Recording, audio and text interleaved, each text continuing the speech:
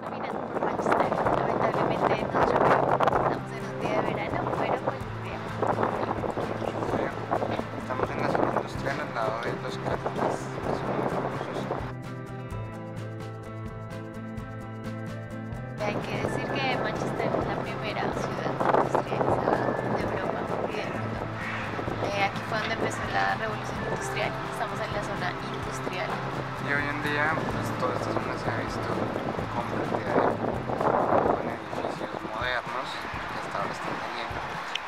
Y vamos a llevarlos al museo donde vamos a encontrar toda la historia de. La revolución industrial fue el cambio que se produjo en la sociedad cuando la economía dejó de basarse en la agricultura y la artesanía para depender de la industria. Nació en Gran Bretaña y se extendió luego al resto de Europa. Antes de la revolución industrial, tres cuartas partes de la población subsistían con trabajos agropecuarios. Principalmente estaba basado en el autoconsumo y no en la comercialización. Además, la productividad era muy baja. A mediados del siglo XVIII empezaron a instalarse fábricas textiles. Los cambios tecnológicos fueron el uso de nuevos materiales como el acero, de fuentes energéticas como el carbón y máquinas motrices como la máquina de vapor, considerada como el motor inicial de la revolución industrial.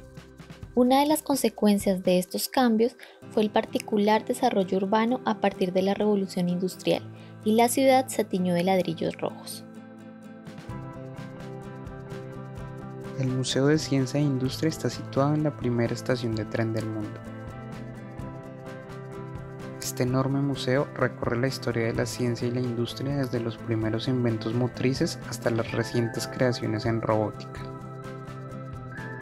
El desarrollo del comercio obligó a buscar una forma de transportar el algodón que entraba por el puerto de Liverpool hasta las fábricas de Manchester y asimismo devolver al puerto el tejido terminado. La solución llegó en 1830, cuando unos vagones enganchados a una locomotora empezaron a implementarse. Ese día nació el ferrocarril y la revolución industrial vivía sus mejores momentos. Sin duda el espacio dedicado a la recreación de las viejas industrias textiles, así como los hangares donde descansan las primeras locomotoras, aviones y motores de explosión, son el complemento perfecto para este viaje por la historia de la revolución industrial en Manchester.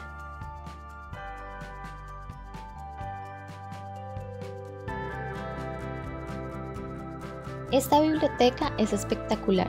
Su entrada también es gratuita. En el primer piso hay exposiciones. Y no te vayas sin ir a la sala de lectura que parece una auténtica iglesia con sus enormes vidrieras. La biblioteca se sigue utilizando. A cada lado hay infinidad de libros con escritorios para poder estudiar.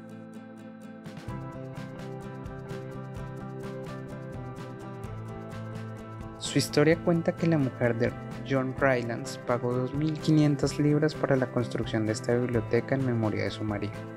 La mujer quería construir la mayor biblioteca de todo Manchester y parece que logró construir la más auténtica.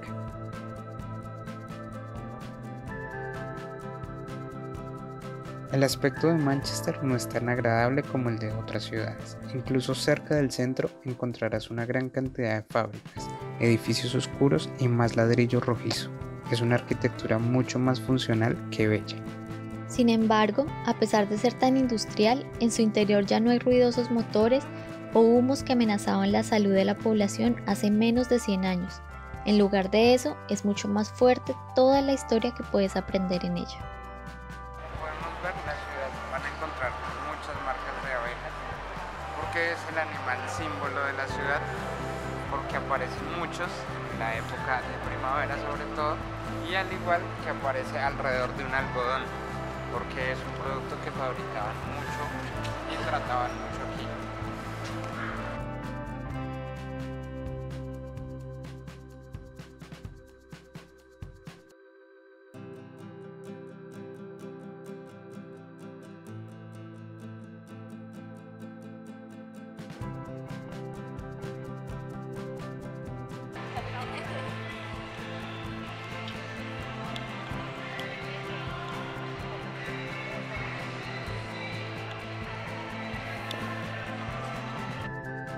Esta catedral es hermosa a pesar de ser oscura y sus ornamentaciones mucho más recatadas de lo habitual. Además, sobrevivió a las guerras mundiales. Hay un bus gratuito que te permite visitar el centro de la ciudad. Es súper práctico y fácil de usar.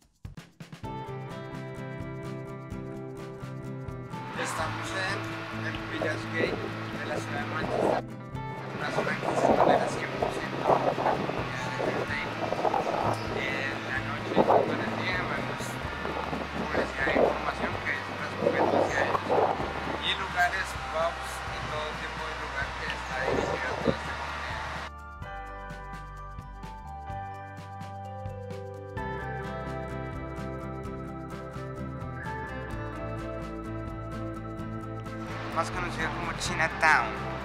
Estamos aquí, uno de sus grandes arcos, y donde podrás encontrar comida de este tipo. Y muchas tiendas donde encontrarás comida asiática, productos de todo el por mayor, vegetales, lo que sea que quieras encontrar. Y en la noche esto se vuelve prácticamente un lugar abierto con muchas luces y lleno de personas. La plaza del ayuntamiento es una fantástica excepción de la arquitectura neogótica construida en la segunda mitad del siglo XIX y que hoy en día sigue siendo uno de los lugares más bellos de la ciudad. El ayuntamiento todavía funciona como sede administrativa local. La torre del reloj de 85 metros de altura es el elemento más característico y puede visitarse. Sin embargo, por obras está cerrado hasta el año 2024. La Biblioteca Central de Manchester es la más grande del Reino Unido. Por fuera es de estilo neoclásico y su interior es muy tecnológico.